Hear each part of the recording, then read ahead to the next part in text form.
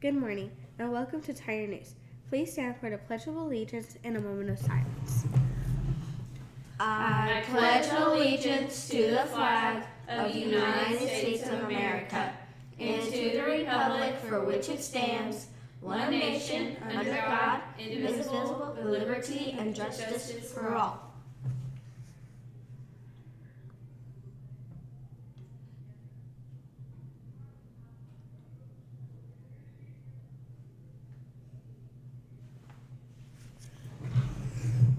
Thank you.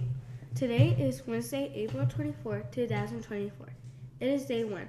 For lunch, we will have Hot Pocket, chicken romaine, green beans, and corn.